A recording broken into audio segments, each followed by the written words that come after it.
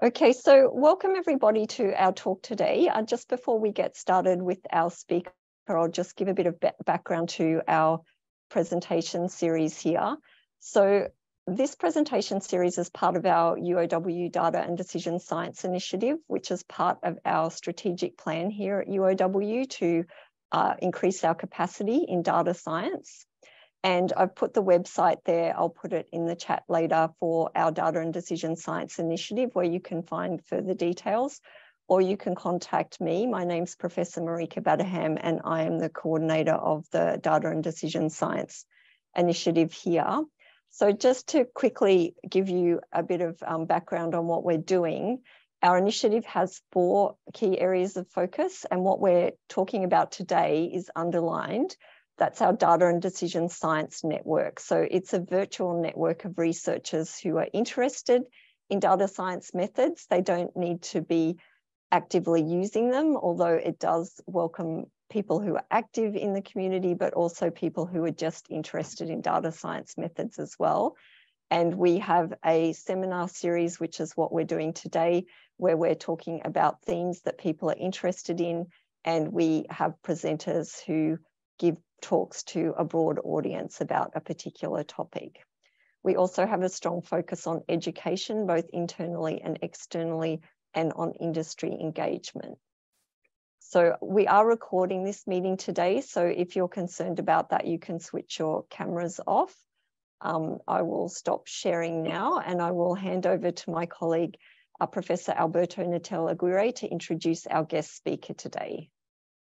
Hi, uh, hello everybody. So uh, I'm very, very, very, very glad to be introducing Ian, Ian Shrier, Dr. Shrier.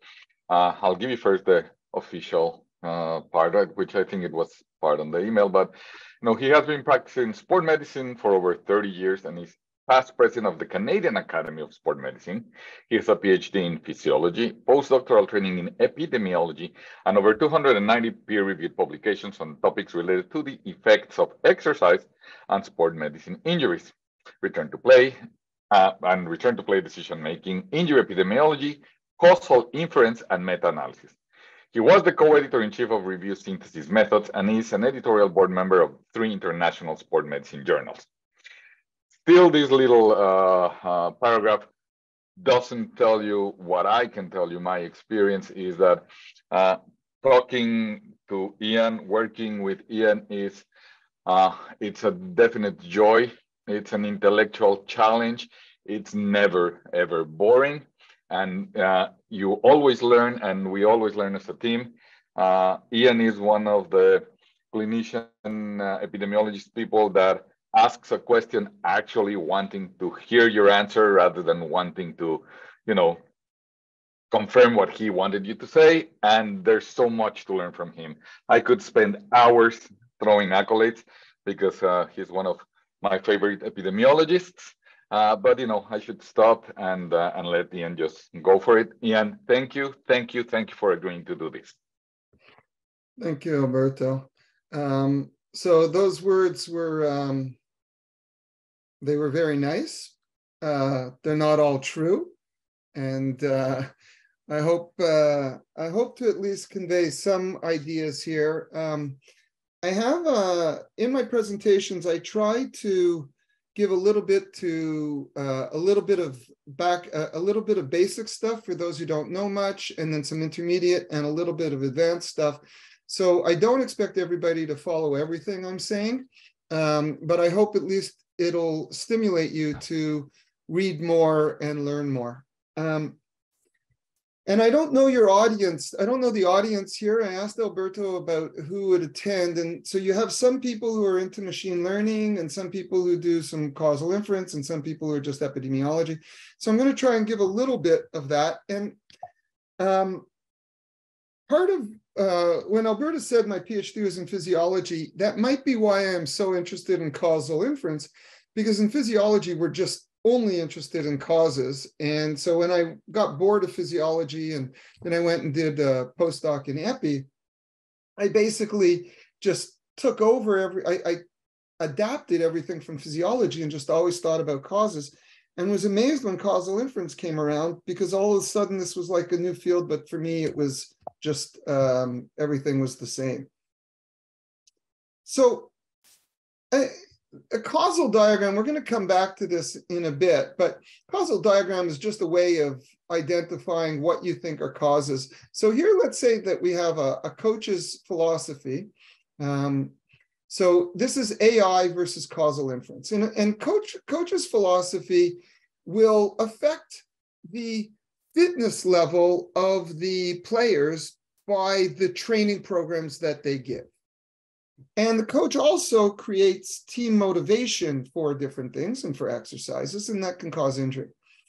And so the question is if, if you had this type of data generating structure, if this were true, then and you wanted to know the effect of warm up exercises on injury, what variables would you adjust for in the, in the statistical model?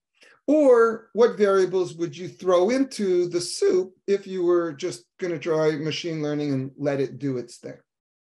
Now, in this toy example I've given you, the coach's philosophy is measured, but team motivation and fitness level aren't. So you really only have, do you include coach's philosophy or not? Um, so if we follow a traditional epidemiological approach, we would absolutely include coach's philosophy. And the AI approach, machine learning approach in general, follows traditional epidemiological approaches. And so it basically gives you the same answer in this case. Now, here are the results. This comes from uh, our student Tyrell Stokes, who's published in Stat Methods this um, idea. And it's a it's somewhat taken from that paper. So here's if we use artificial traditional approach, our true estimate is up here.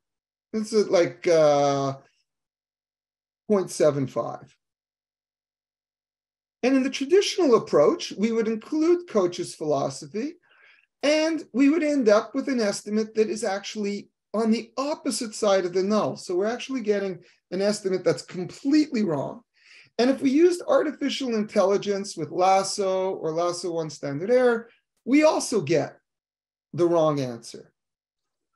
And if you use an advanced causal inference approach, so this is, we're not going to get into how this is really an advanced problem, but if you actually use the advanced techniques,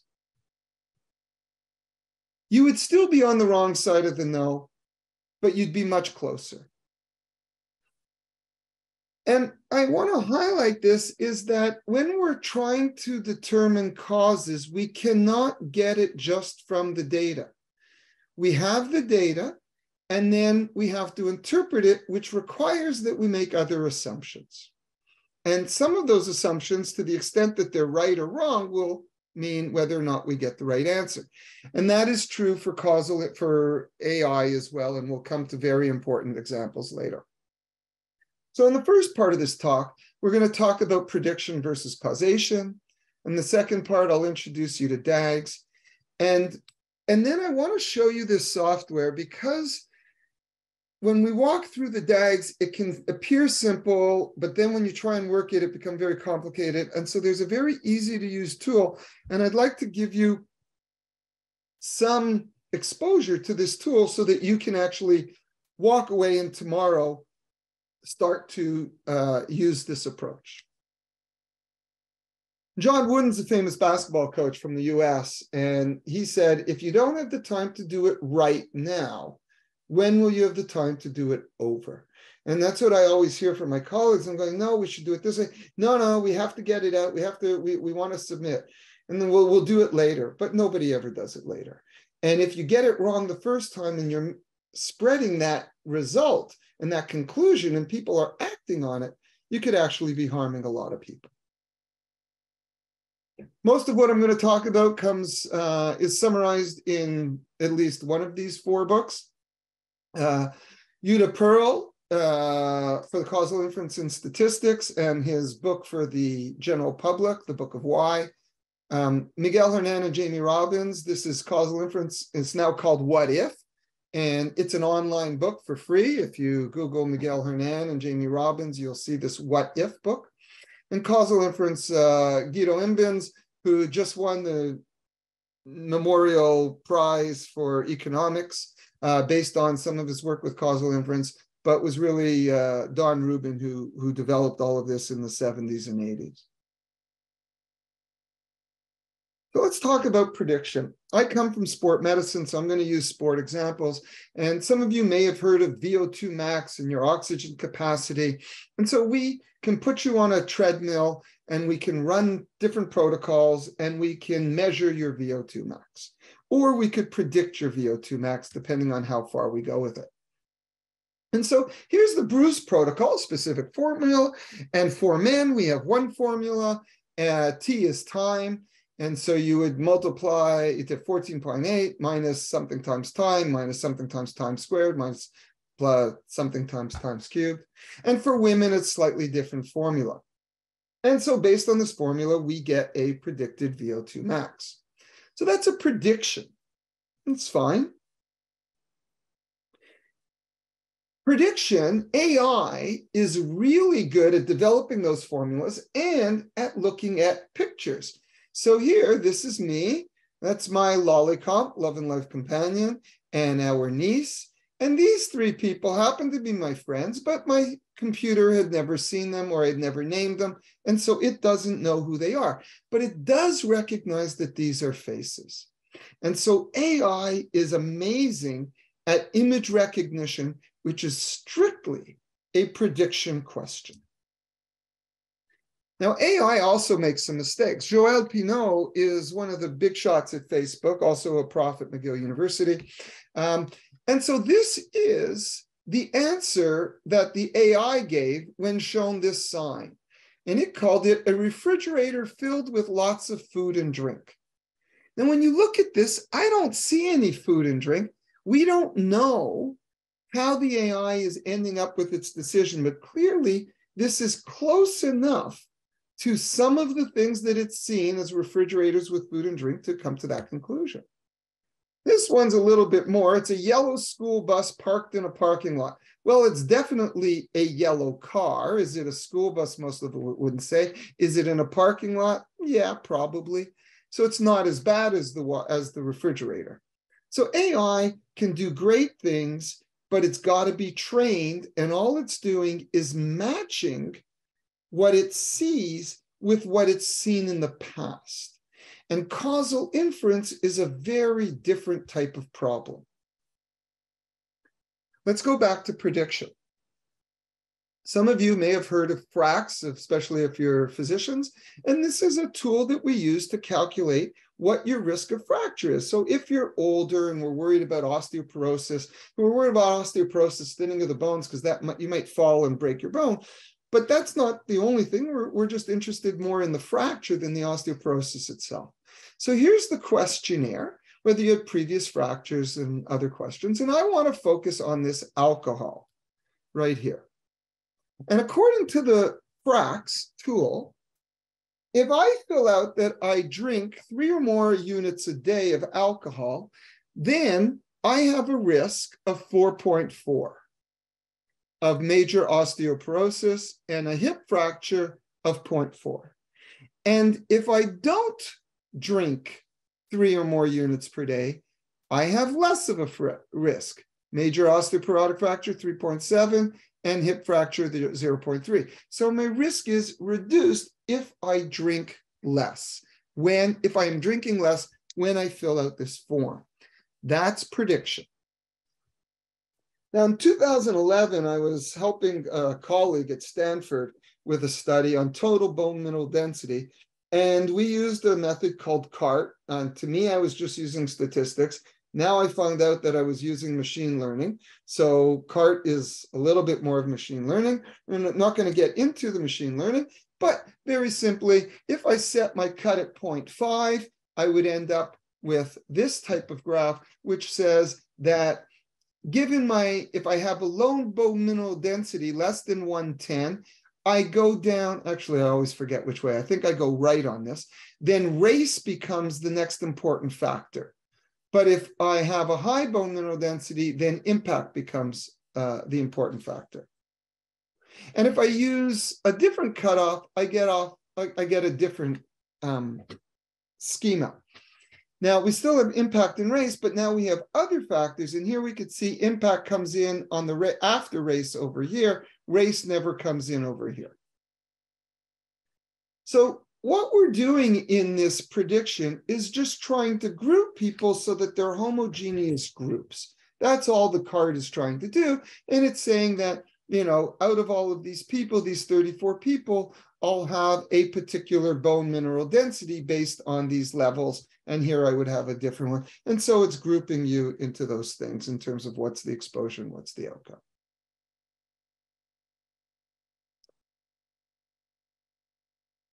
So if I had this set of data, and let's say I even did it in New York, and I did a randomized trial, and even I have this causal inference data.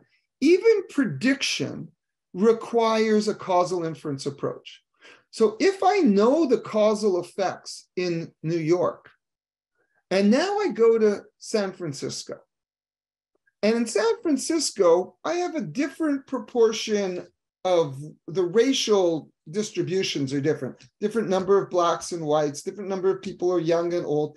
And so whatever intervention i did in new york where i had an average total average effect in that randomized trial i can't just transport that value to san francisco because maybe blacks have you know the effect in blacks is different than whites and so if my population in san francisco is a different proportion of blacks than it did in New York, then my average treatment effect in San Francisco is going to be different.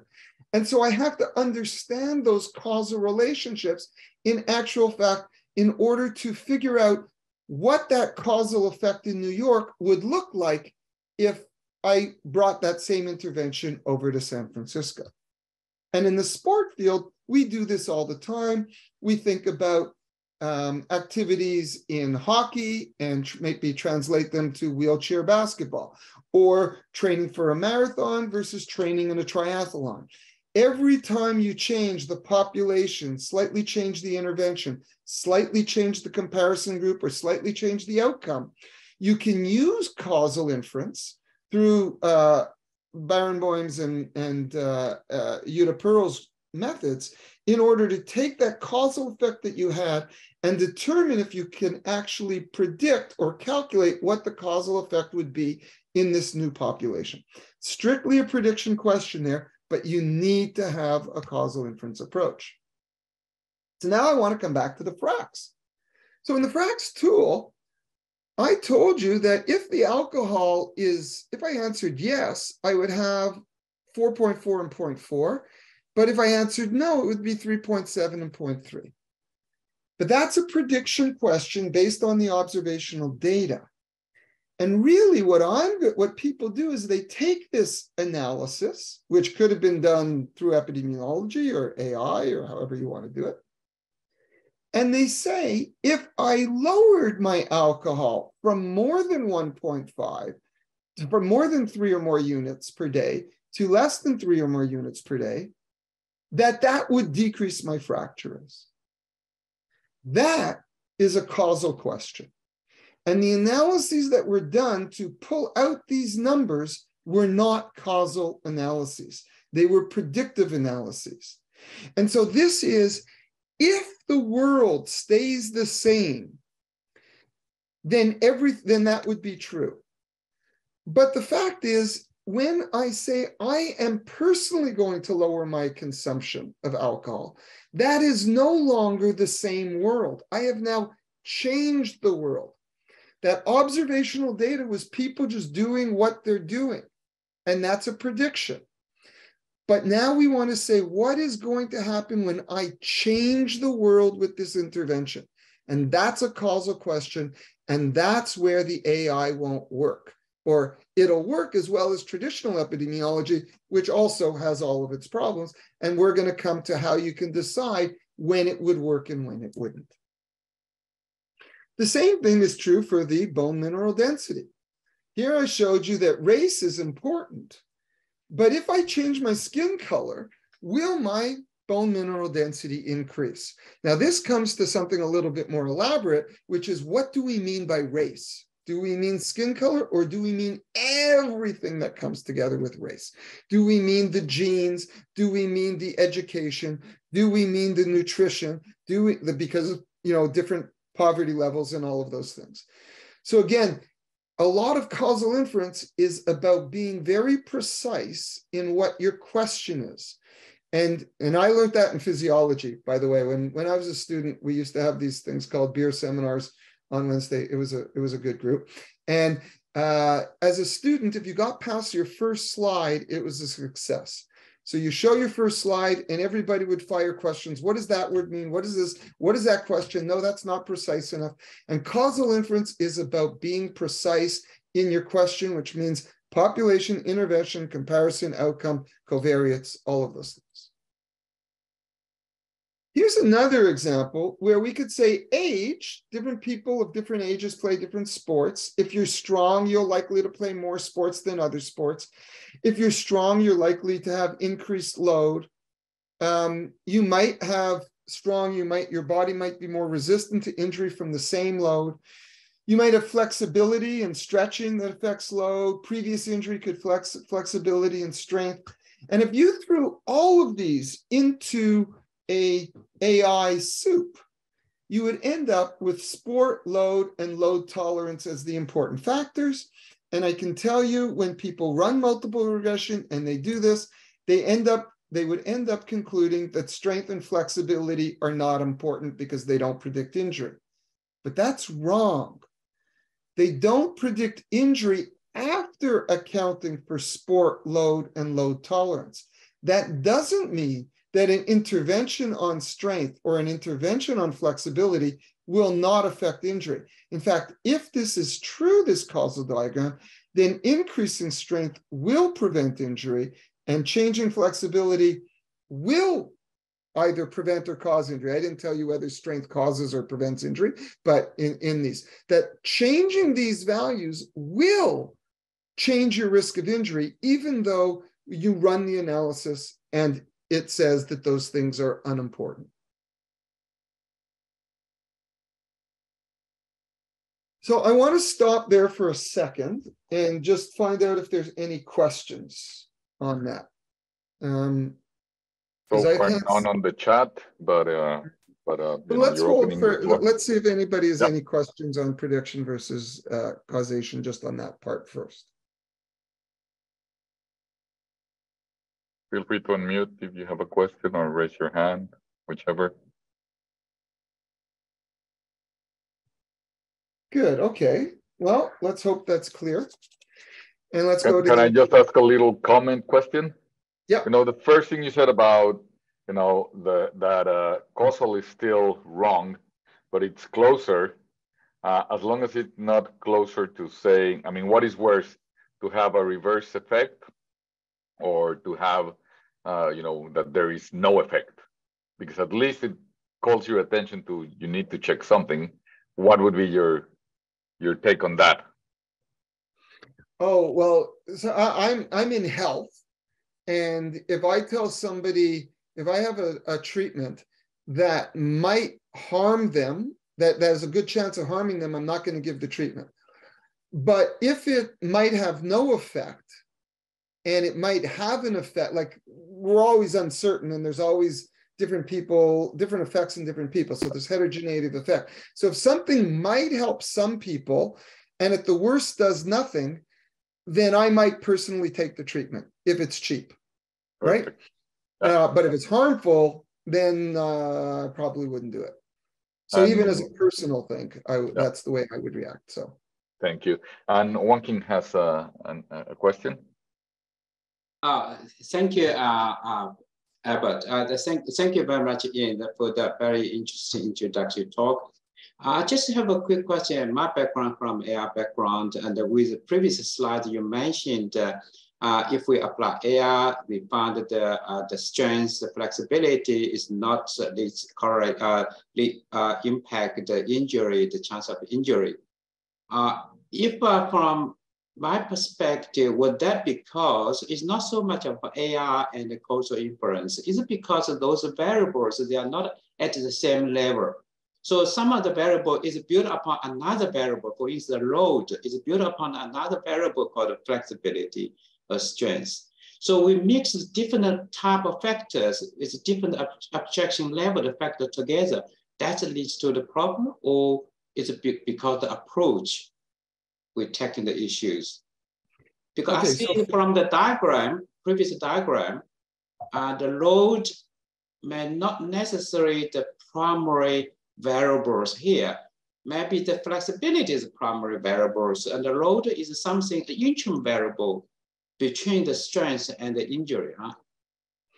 Yeah. So, so yeah. Yeah. So let, let, so let me try and answer that. Um, first of all, absolutely they're different levels and it's not a problem of ai it's a problem of all of epidemiology and all of science mm-hmm. not understanding what these estimators do like what how to inter- properly interpret them mm. so ai follows the traditional you're going to see in the next section that ai follows the traditional rules of epidemiology the problem is that the traditional rules of epidemi- epidemiology have omitted one very important fact mm. and that's what leads to the problems now this problem that i talked about is highlighted in a paper by Daniel Westreich in American Journal of Epidemiology and Sander Greenland, Westreich and Greenland, called the table two fallacy. Mm. And what it is, is it's just, it's not understanding how to interpret multiple regression models properly. It's not a problem of AI so much. I just wanted to say that if you do AI, this, and this is the true data generating process, you would end up with only sport load and load tolerance as important everything else would be unimportant. Mm. I can simulate this data, and that's what you would find. So, because I, I, there's no inter, I didn't put any interactions in here, so I can get rid of that, and it's strictly everything's working through those three, three through those three variables in the toy example I created. Okay, so that's table two fallacy. It's a great paper for those of you who are thinking and people running multiple regression. I mean, I've given this talk, I have colleagues that I collaborate with. There's a paper now that I have refused to put my name on because they didn't understand this and they wrote a bunch of stuff. And I said, look, you're going to get this published and everybody's going to read it, but I can't have my name on it because my colleagues are going to go, Ian, why did you publish a table two fallacy paper? Like, why did you have this problem in it, and I wouldn't be able to defend the paper. Mm. Um, so, but that's that's for me. Thank you. Right. Thank you, man. Does that help? Any other questions come up? Usually, when one Ooh. person asks a question, all of a sudden everybody becomes less shy. So, um, if I do say anything here, please please send the chat or even just start talking and interrupt me. I'm used to interactive talks, and the video conferences are harder because I can't actually see people. Yeah, I'm um, monitoring the the the chat and seeing if anyone has. It's easier for me to see if you guys put any reaction, like a hand up or whatever. Uh, yeah. Then, but yeah, right. and the chat is also good. Okay, so let's go on, and we're going to talk about the difference between identifiability and estimation, and this is a big thing that most people don't realize. Um, and really we're going to talk about identifiability and it's something for me that i only i've always had a huge problem with it until recently somebody told me something. And it's that an ident- a causal identifiability for a causal effect means that there is one and only one possible answer from the observed data to predict the outcome. So what does that mean? If i ask you the square root if i ask you what's the square of, uh, what's two squared? There's only one answer, it's four, and that's identifiable. But if I ask you what the square root of four is, it's not, because it could be two squared or negative two squared. And there's no way for you to determine which of those two answers is correct. So that's not identifiable. And when we have confounders that aren't measured or not properly adjusted, then we have two possible ways of generating the data, uh, of generating those data, and we don't know which one of those is correct. And therefore, we don't know the true data generating process, which means we can't actually identify the causal effect. Once we determine that an effect is identifiable, it may or may not be easy to estimate. So some, and this is I get this is where I get trouble because when a causal effect is identifiable, I thought it means that there's always an estimator there that I can estimate it, and apparently that's not true. But that I'll leave for Alberto because I'm not a statistician, so maybe he can answer that later. Okay, standard confounder. If you look in any textbooks, it'll say it's associated with the exposure, associated with the outcome independent of exposure, and is not affected by exposure, in particular, does not lie along the hypothesized causal path. And so if we're going to draw it, we can say osteoarthritis affects how much activity you're going to do because you have pain. And osteoarthritis is associated with a gait disorder. It'll make you limp. And limping will also change your activity patterns. But if you actually think about this and you look through the books more, you'll see a couple of other requirements for confounders. It can't be a marker for a variable that lies along the causal path. It can't be caused by the outcome. And it must cause disease in the unexposed group and yield the true risk in exposed and unexposed. We don't have time to go through all of these. I want to focus on those three. It's not affected by exposure, in particular, does not lie along the causal path is not a marker for a variable on the causal path and not be caused by the outcome. And these are all standard. So when we look at this and we say this covariate is associated with exposure and associated with the outcome, what does that mean? Because we have these rules. So let's just think about that. If, if the covariate is not caused by the outcome, what are the actual logical possibilities. There's only two. One is that the covariate causes the outcome. That's possible possibility one. Or that there is some other cause of the outcome and the covariate is a marker for that outcome, for that unmeasured cause. Notice here I have a double arrow. It doesn't matter if the covariate causes you or you causes the covariate. So that part doesn't matter, but it is important that you causes the outcome and that not that the outcome causes you. So these are our two choices. If it is the covariate is not caused by the outcome, then it must cause, and it's associated with the outcome, it must cause the outcome independently or be a marker for an independent cause of the outcome. If you can think of another logical option, that would be great, but nobody has to date. Also, the covariate cannot be affected by exposure. Okay, what does that mean? And it must not be a marker for a variable affected by exposure. The only options are the covariate is a cause of the exposure or a marker for a cause of the exposure. Again, notice that when I said this, I had to use the word cause. And these, this necessity to use the word cause comes from traditional epidemiology. So when traditional epidemiology says, oh, you can't say anything about cause and effect, you can only talk about associations, it's internally inconsistent. There's no internal logic that can hold you to that because the statements themselves require that you understand the causal relationship between variables in order to say, I'm going to adjust for this variable or not. Now, when we draw causal diagrams, we don't draw them like this because they take too much space. So C is going to be our covariate.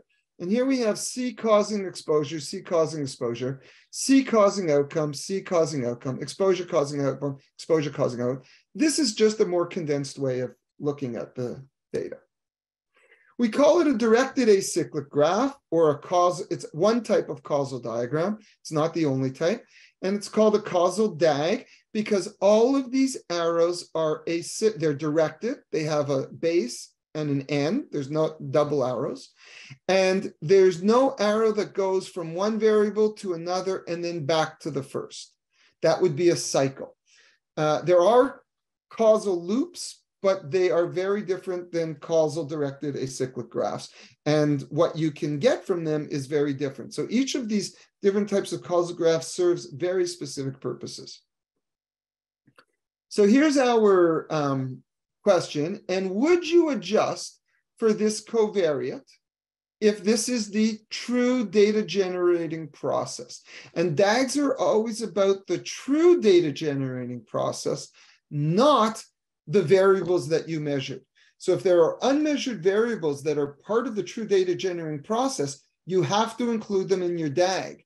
Otherwise, you could only measure the exposure and the outcome, and no matter what you were doing, you would be able to identify the effect. So it's always about the true data generating process. So uh, I don't have the ability to do a poll, but I'm hoping that all of you would say, yes, you should adjust because the covariate is a cause of the outcome. Here are two sentences. That's all you have to think about. Covariate is a cause of the outcome and a cause of the exposure. Satisfies these two sentences, satisfies the traditional requirements for a confounder in traditional epidemiology? And we'd say yes. Now, if we look at this one, normally I let you sit for 30 seconds and think about it. But if we think about this one, what we have here is C a cause of the outcome. No, there's no arrow from C to the outcome. So that is not true. Is it a marker for a cause of the outcome? Well, let's look at the other causes. U is a cause of the outcome. C is associated with U. Now, I told you it doesn't matter what direction this arrow is in. If the arrow was in the other direction, then C would be a cause of the outcome. It would cause U, which would cause the outcome. But if U causes C, that's okay. Imagine this is one to one. Every time U occurs, C occurs then whether you put C or U mathematically in the equation, you have the exact same numbers and it has to be true. To the extent that C is an imperfect measure of U, you may or may not reduce all of the confounding. But this is the idea that C is going to minimize the confounding of U. And so we can get, so the causal effect is identifiable because in the second one, C causes the exposure. So the second sentence is true. So we go yes. Now here we have a slightly different one. Does C cause the outcome? Yes. Does C cause the exposure? No. But U is a cause of the exposure and C is a marker of U. So it satisfies the two and we're okay. What about this one? It's not. Now, why is it not? Because C is caused by the exposure. So remember, we're not supposed to put in any, if we want to know the total effect of exposure on outcome, we cannot put in any variables that are caused by exposure. Now, in the machine learning, this isn't a problem with machine learning, but it's a problem with some of the people who use machine learning, is that they forget that they're trying to create, even as prediction, and they include variables that are not present at the time that you have to make a decision. So there's a lot of stuff on um, radiology and imaging and whether you know MRIs can predict how long someone will get better. But what they do is they take the MRI and then they take information that is gained after the MRI is done, sort of like how, how do you have pain with like a week after you started treatment? Well, but the MRI was done before treatment. And so if you throw in that other information, the MRI is not predicting anything there because you've got other information that's helping you predict. And the MRI is, is just not important. Um, it's, it's just not going to be a very good predictor. And so we have to be very careful when we include covariates that occur after exposure to make sure they're not affected by exposure. This is a very important one. Uh, and in this case, it's not. I thought I, oops, I thought I had my two sentences popping up, but uh, they're not coming up here. So here, the covariate is not a cause of the outcome, but it is a marker for a cause of the outcome. U is a cause of the outcome. But it is not a cause of the exposure and it's not a marker for the cause of exposure. And therefore, if you adjust for C, you're actually going to introduce bias. And this is a very famous paper that, got me into causal inference by Clarice Weinberg from 1993 on spontaneous abortion. And the problem here is that although you're not conditioning on a thing that's along the causal path, you're conditioning on a marker for a variable that's along the causal path. And you might say, oh, who would ever do that? Well, people do it all the time when they're looking at types of competing events. So this is a type of competing event thing. Think if I'm interested in warm-up exercises and ankle sprains, but someone sprains their knee before they get an ankle sprain. What are you going to do with that person who sprained their knee? And if you're doing a survival analysis, you might say, well, I'm just going to censor them at the time that they sprained their knee because I've got follow-up data. But if you do that, you're going to get a biased answer. And you're going to get a biased answer because you are conditioning, censoring, conditioning on something that is a marker for something lying along the causal pathway. It's called in, in epidemiology, sometimes it's called informative censoring. And in AI, if you're not careful in machine learning, you're going to end up with the same problem. Again, if you do it properly, you won't. But that's a whole other issue. Now, what about this one? Here we have C is not a cause of the outcome, but it is a marker for U, which is a cause of the outcome. It's not a cause of the exposure, and it's not a marker for a cause of the exposure. So that is a problem that you don't want to adjust for this. Now, I like beating a dead horse. So here's the other example we had on the previous slide. And in that one, it's exactly the same, except for this direction of this one arrow. So using traditional epidemiology, what we say is that, oh, don't have to think about causes, just association. But now I just show you in these two, here you want to adjust for the covariate, and here you do not. And the only difference is the direction of that arrow. So if you are using double arrows to say that things are just associated, and you think you can decide on model on the appropriate covariate selection for model selection, think of this example, because this just tells you you cannot. You must have an underlying hypothesis about this. Now, if you're not sure what the direction of that arrow is, then you're not sure what the correct statistical model is. And if your two statistical models give you different answers, you don't know which of them is correct. If they give you the same answer, then you could say, well, it doesn't matter because either way, I'm getting the same, I'm getting the same answer, so I can ignore it. Now here's what we call uh, an M structure. And the question is, do we adjust for this? So we have, oh, we have that the covariate doesn't cause the outcome, but it's a marker for U2, which is a cause of the outcome. And the covariate doesn't cause the exposure, but it's a marker for U1, which is a cause of exposure. So by traditional epidemiological principles, this is a confounder and you should adjust for it in order to get an unbiased result. And this is what AI and machine learning does as well. And this is the problem that it ignores. Because if you adjust for this, this is called a collider because we have two arrows colliding on it. And that introduces bias. How does that introduce bias? This is a, a graph from Pearl's book in, in, in the last chapter's um, epilogue, uh, where he describes this, and we described how this works in a paper in 2008. Think about the season, and in the springs, you have automatic sprinklers and it rains. Both of those cause the field to get wet, and the field is slippery, and you could fall and hurt yourself. Now, if I tell you that the field is wet, then that means sprinklers and rain are associated in at least one level. What does that mean? Well, if it's wet, and I told you it did not rain, I hope all of you would say the sprinklers are almost for sure on. I mean, it is possible that someone came and peed all over the lawn or some dog peed over the lawn and made it wet. So there might be other causes of wet. But clearly, if it didn't rain and the field is wet, it is very likely the sprinkler is on. And that's the definition of an association.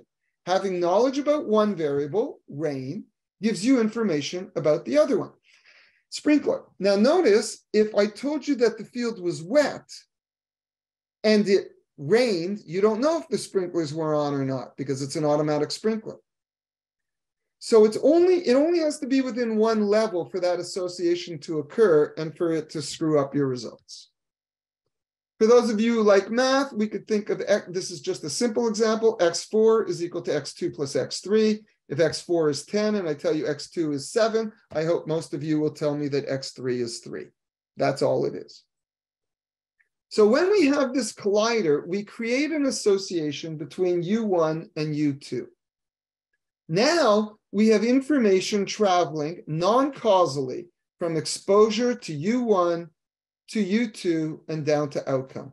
And that's bias. In the causal inference literature, we call that collider stratification bias. Some people will call it induced confounding bias because the confounding only occurs if you include C. So if you ran your model just exposure to outcome with no covariates, you get the right answer. If you include the covariate, you get the wrong answer. So introducing additional covariates does not only increase your variance for those of you who are used to AI, thinking, oh, maybe I'll get more variance, but I'm going to reduce my bias. That's not true. It's not just a bias variance trade off. Here, you're going to increase your variance and increase your bias.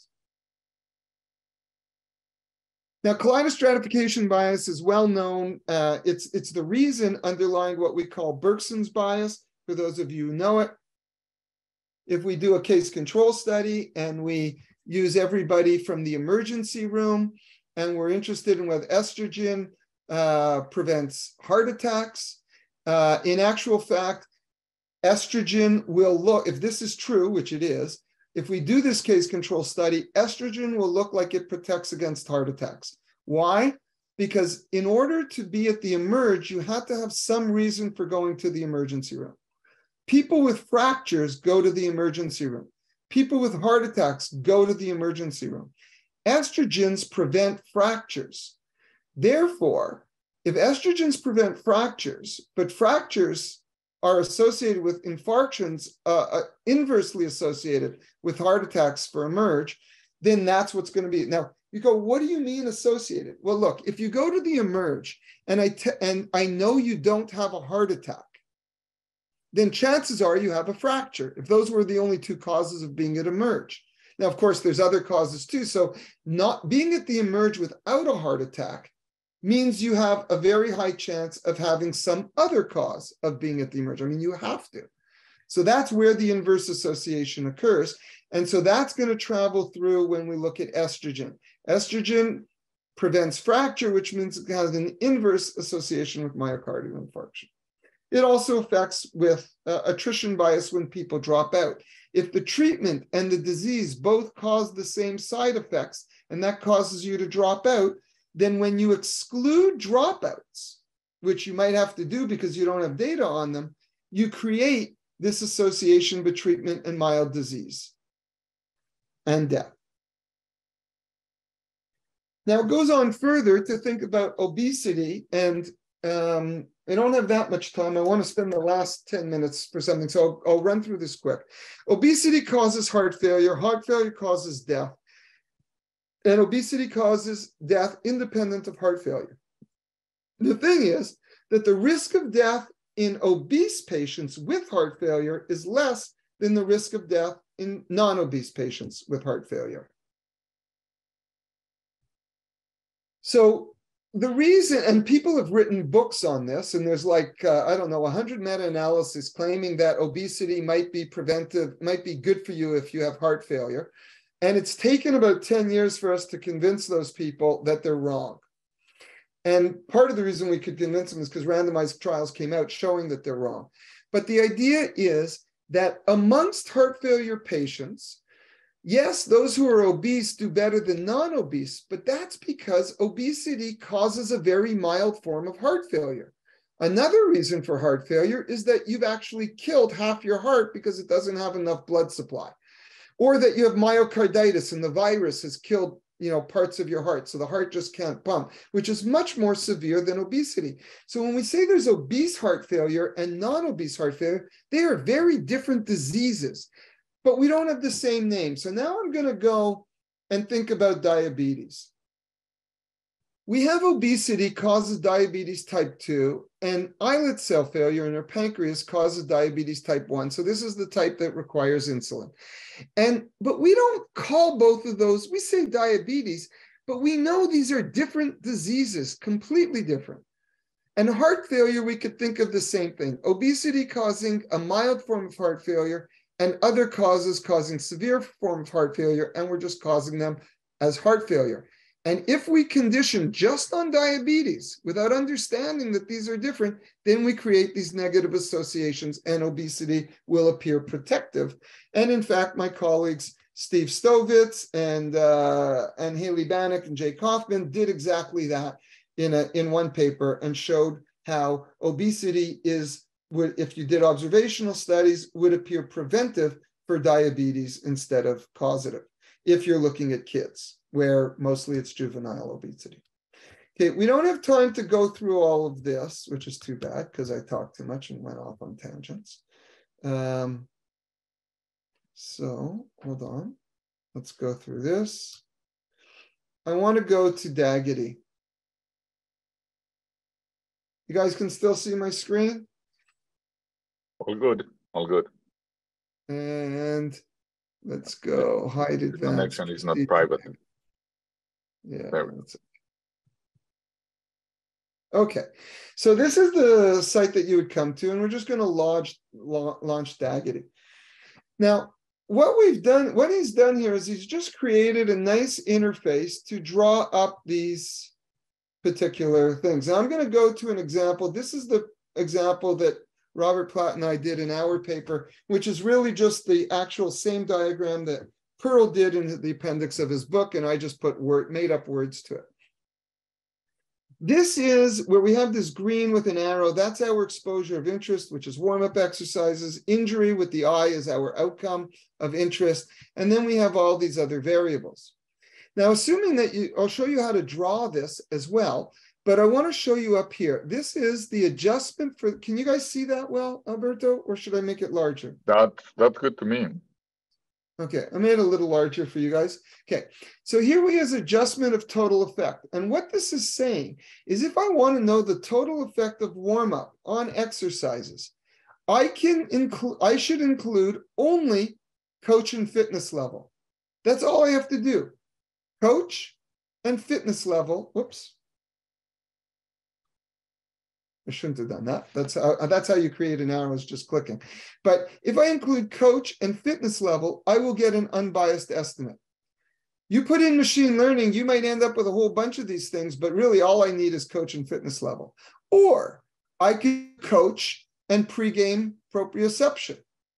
Or I could do fitness level and team motivation, or any one of these things.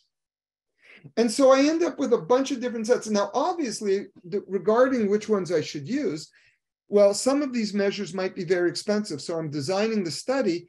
I'm going to design it and I'm going to make sure I measure at least one of these sets so I could get an unbiased estimate. But measuring neuromuscular fatigue is actually quite intensive and requires a lot of equipment and is expensive. So if I can get away with getting an unbiased effect without having to measure it, then that would be great if I did measure all of these things and threw them all in, AI would come up with a predictive measure, but that doesn't necessarily mean it's causal.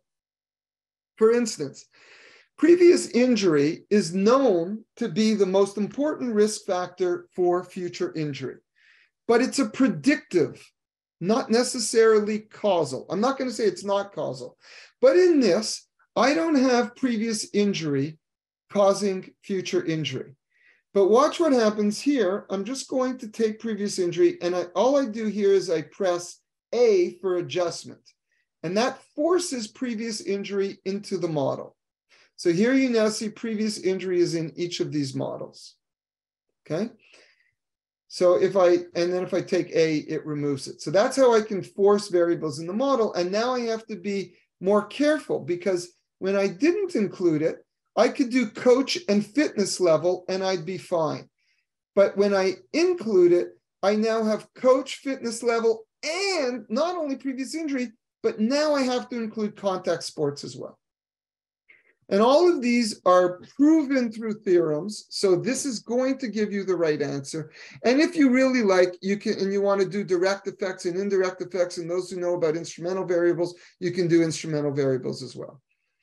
So now if I go back and I'm going to create a new variable, let's, all I have to do is double click anywhere and I get a new variable called variable one. Here it is. If I want to join this variable one to another variable, I click on variable one and I click on fitness. And if I want to get rid of it, I click on variable one and I click on fitness again. And if I want to make this a cause of the injury, I could do that. And notice this is blue. And so we've got this, blue is an ancestor of the outcome. But if I also make it an ancestor of warm-up exercises, now it turns red because it's an ancestor of both exposure and outcome. And that's what it can, and that would be something that you would have to block as a confounding pathway. So we do that. If I want to rename this, I just hold my cursor over, I hit R, and I can call it rename. Of course, I have to be able to spell right. But if I want to delete it, I just hold it over and I hit D, and it goes away. It's that easy. Sometimes these things get crowded and you can even do this, whoops, you can go over the arrow and make it into a curve. So if you like that curve. So I think I'm, I got two minutes. Um, and you can go through in this, there's obviously lots of other examples of how you could do it. You can set more than one exposure. So now I have this would be as if I wanted to intervene on both of these simultaneously as a combined exposure. You could do that and get the minimum social, minimum sufficient adjustment set for estimating the total effect of both TT and U. So you're going to change both of them at the same time or neither at the same time. And that would be the total causal effect for that.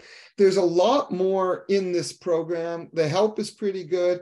There's moral graphs where we take out arrows. There's correlations, equivalents. There's a lot of different, uh, those of you who do structural equation modeling, this is what that would look like. Um, and in, in fact, if we went, uh, I'm not back at the beginning, but in, in the actual first thing, um, there's some other new fancier things that he's put in that are still being developed. So that's DAGitty. And so as much as you are thinking just in a traditional sense, we can go back to the normal, go back to a this graph. If you were able, oops, if I was able to look at this and I said, shit, this is what I think the data generating process is, but I don't know how to read all of these things and tell me what is, uh, tell me which variables I should adjust for, I can just go and look it up over here. And that's what makes DAGitty very nice. Now, you still have to be able to draw this causal DAG. And apparently, I don't teach large groups, but people who do say that there's about 50% of the people who actually have trouble just drawing these graphs. Their mind doesn't work in that type of causal way. And they just get very confused very quickly about where they can put arrows and where they can't, where you remove arrows. Um, I've I've tried to give you a very broad overview. Uh, Don Rubin is one of the statisticians. He wrote a paper once who said, I'm going to simplify things in this paper. For those of you who know more, please don't write nasty letters. I know that I'm simplifying it, but it's only so that I can, you know, uh, uh, teach it properly. Uh, my analogy is when I learned what square roots of numbers, we didn't learn that there is a square root of a negative number. We were told that that's not possible. That was a simplification. And obviously, there are square roots of negative numbers, um, but you have to learn that at a later date. So it's one step at a time. And this is uh, where I think we would be at the end of this step.